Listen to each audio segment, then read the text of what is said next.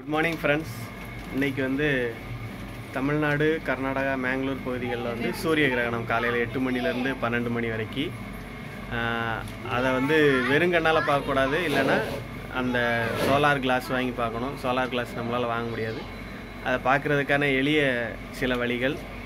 உபகரணம் ஒன்று ஒரு பேப்பரில் நடுவில் வட்டமாக வெட்டிக்கோங்க. கீழே விழுந்துருச்சு. ரெண்டாவது உபகரணம் கண்ணாடி. ஒரு கண்ணாடி வச்சுக்கோங்க. அப்புறமா அந்த பேப்பரை இப்படி கண்ணாடியில் வட்டமாக தெரிகிற மாதிரி வச்சுட்டு அந்த கண்ணாடியை சூரியனுக்கு நேராக காட்டி அதோடைய ரிஃப்ளாக்ஷனை வந்து நீங்கள் தூரமாக ஒரு இடத்துல விழ வச்சிங்கன்னா இங்கே விழ மாட்டேங்குது. இதில் தெரியுதா? இதை கொண்டு காட்டு.